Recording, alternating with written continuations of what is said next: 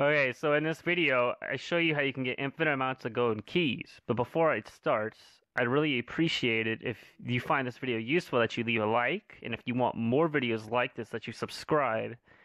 And of course, if you have any questions, comment below and I'll answer back when I can get the time to.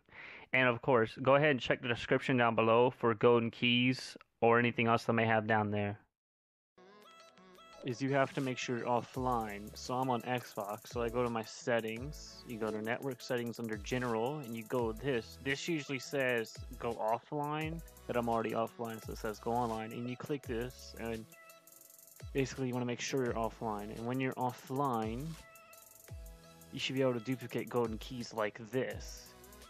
So start up the game,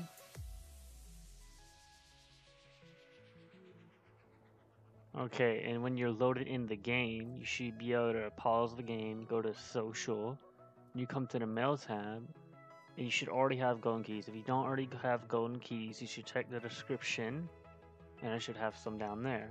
And you, if you look at my number all the way to the bottom right-ish, it says 1518, I can go ahead and collect these. And when you collect them, when you're offline, what you do is that, delete the tab, quit game and then then you're gonna load back into the game and do that again.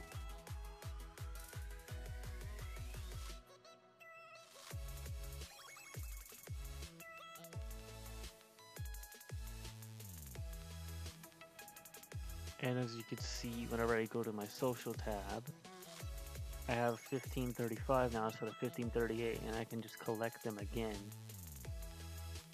and I could keep doing this forever.